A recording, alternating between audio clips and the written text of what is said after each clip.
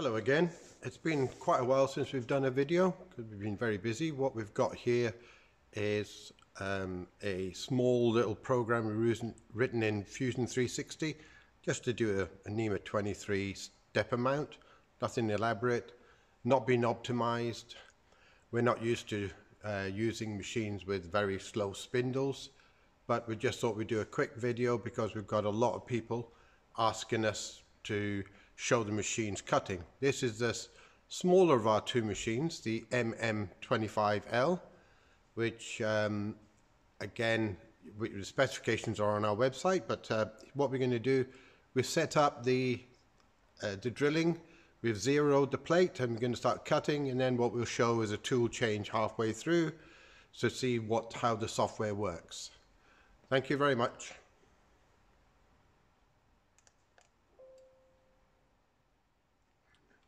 Right, we've pressed uh, start on the machine. Now what it's asking us to do is basically, we will show the screens when we've got some time and we do it here, but what we've got is it's asked us to turn the spindle on and set the speed to a thousand in this occasion. Again, this is just um, written on this on the Mach 3 screen so you can see what you've set it in your program. And then we'll just now should be able to just, just press enter.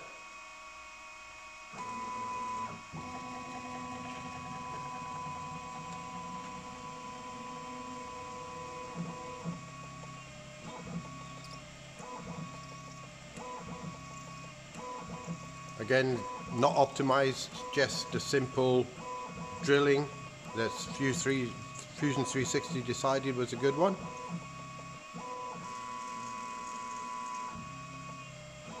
These are 3.3 millimeter um, drilled holes with a stub drill, so we don't need to do any kind of pre-drilling.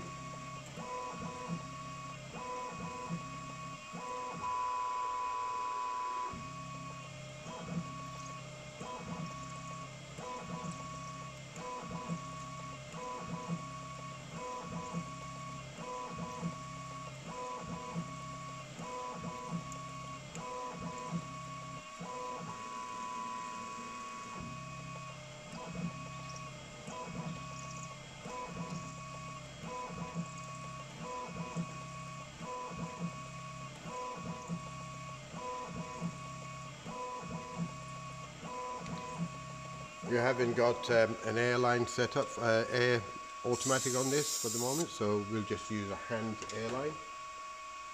What it's saying on the screen is um, it's just giving us a warning that one of our the, the, the thingy. So what we'll do is we'll just turn off the spindle, and then we'll press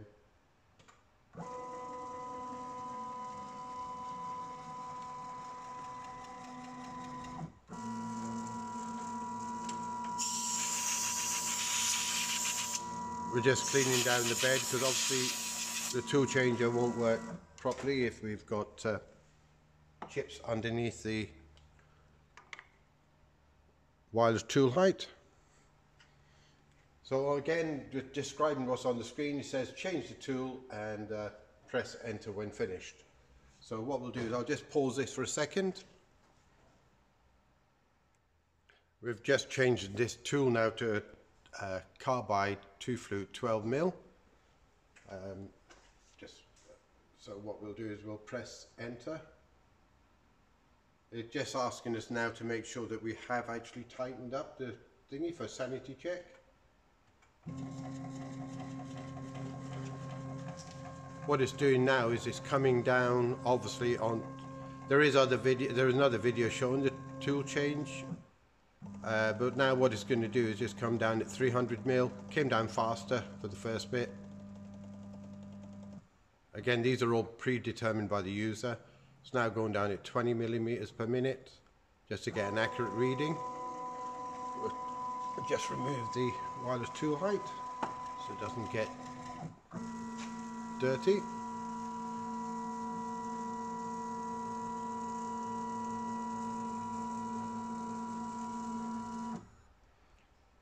And now we're going to have to press start to start the program again. And on the screen, it's asking us to set the spindle on and set it to 2200, which we've just done. And then we should now just press OK on the screen.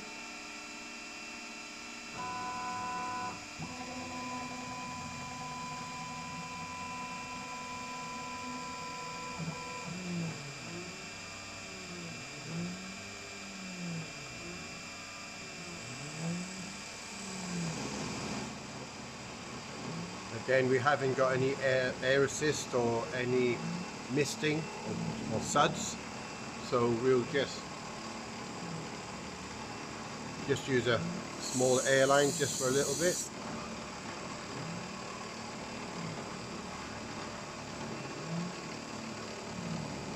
This is our demo machine. If we were using it for production, we would permanently fit an airline or a mister on it. I don't think we would actually use suds, but again, that's at the user discretion. Now you can see this is actually cutting as a climb cut and it's spiraling down um, and it's going down at an angle to reduce wear on the tool.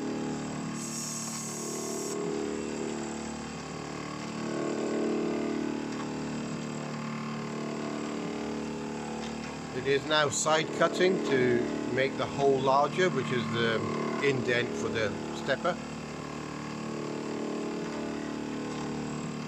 We have this set for 400 millimeters a minute.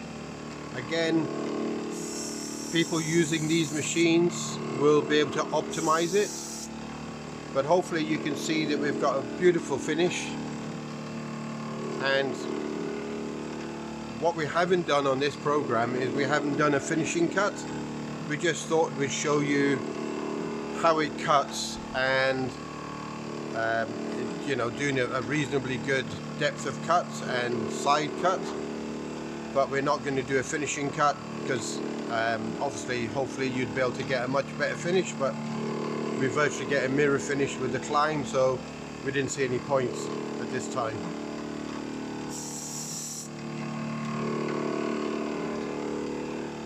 If I had misting on here, we obviously would go a lot faster.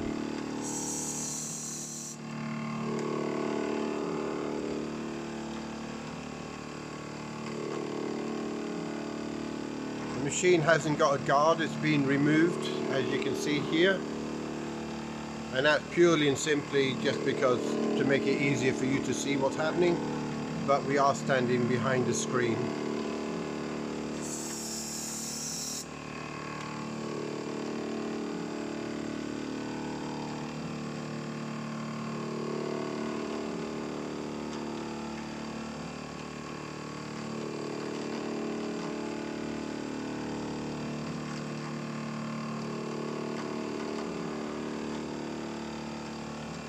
I'm sure there's plenty of um, our customers and um, machinists will be able to optimize this code and make it a lot better. But again, this is just what we did with Fusion, just knocked it up for 10 minutes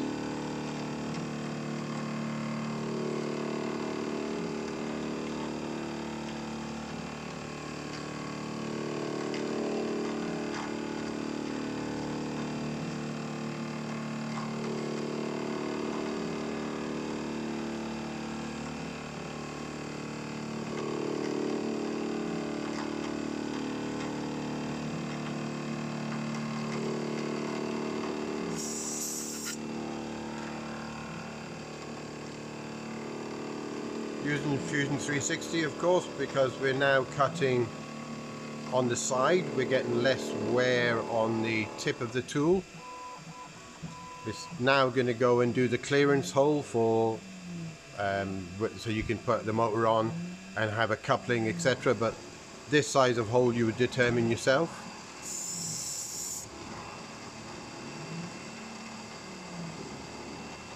We're producing reasonable, good sized chips here. We're not we're not producing dust, um, and the machine is not jamming or sticking anywhere.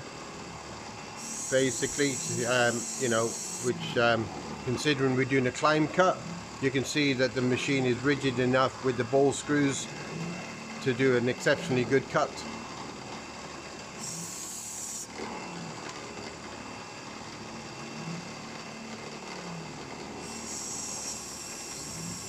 never nice recutting ch the chips that you've already cut so I'll have the airline on just for a little bit. You look at all our other videos we also always use air assist on all our production machines.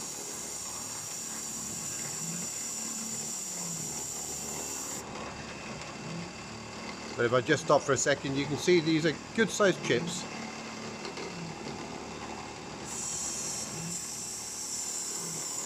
Of course, if the chips are like this, you actually, you know, take away a lot of the heat from the part.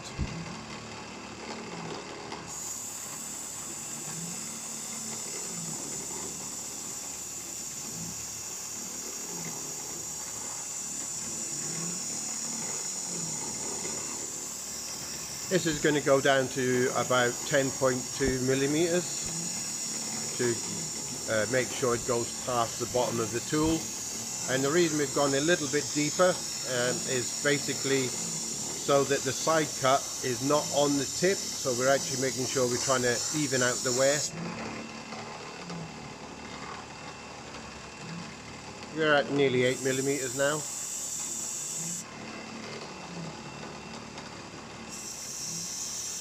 Obviously the deeper it gets the more we need to keep the airline on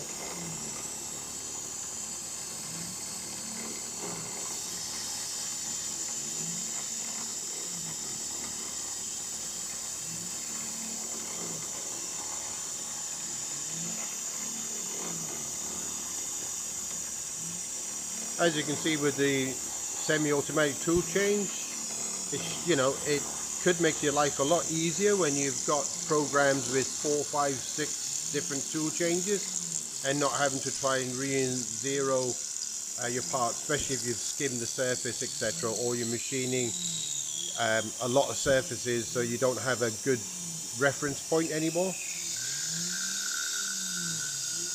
You can hear me now just getting ready to go through the bottom and now you can hear the sound change. Now basically what that is is we're now doing a side cut. Again this code was generated uh, by Fusion 360 adaptive. Um, I'm sure we'll get better at understanding the um, feeds and speeds. And as I said you can don't know if you can really see it very clear, but you can see, I will bring the, the over, but you can see that we're getting, for a climb cut, we're getting a beautiful mirror finish.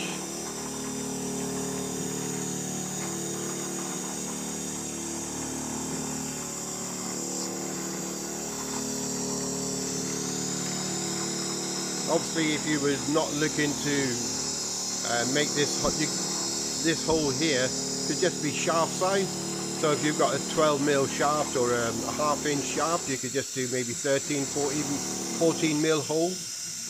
No need to make this large. Um, this is so that we can put the stepper motor on with the coupling on.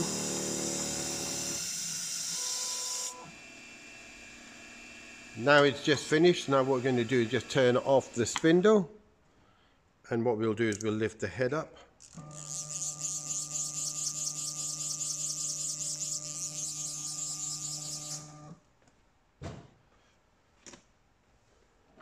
Just to hopefully give you a better view, what we'll do is we'll just take the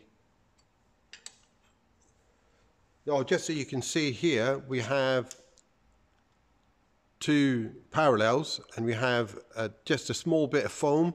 That just stops the parallels moving and coming in, especially if they moved in when you were cutting all the way through, you could actually try and chew into the parallel, but you can see they're very firmly held.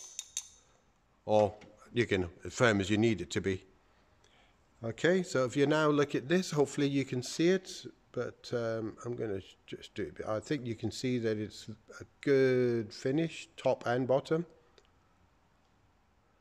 I say, for um, this kind of machine, to be able to climb cut, I think that's a, a, an achievement we're very proud of. thank you for your time and um, hopefully we'll do another video. We'll hopefully be doing some videos on Fusion 360 on how to set it up for Mach 3 because we know that um, we've read a lot of customers have problems with this. Thank you very much. And if you are having um, problems with um, setting up um, the post processor, drop us a line in the comments and we'll look and see if we can do a video to help you. And also, if you'd like to like and sub subscribe to the channel, we'd be very grateful. Thank you very much for your time.